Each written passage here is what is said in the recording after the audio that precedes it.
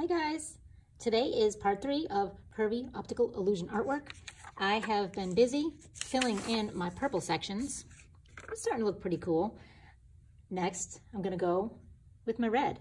So, every area that I have a purple, I'm going to go on top of it with red.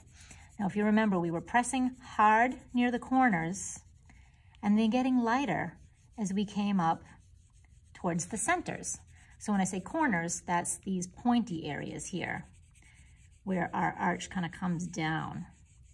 And then fill in the rest. So we're going from dark red to medium red to very, very light in the middle, back to medium again, and then back to dark.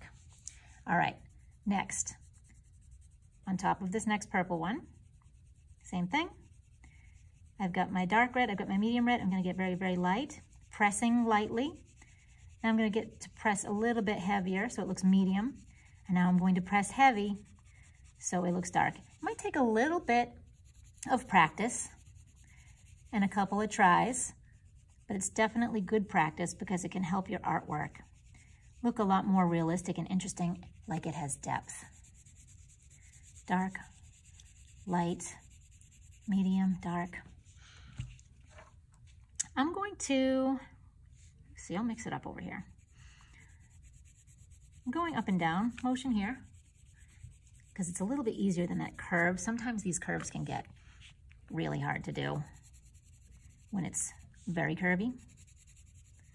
But when you can, try and follow the contour. Dark on the sides. Turn your paper if you need to the center.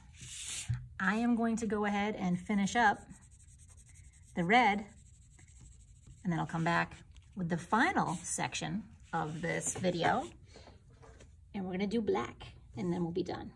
So I'll see you in a little bit for part four.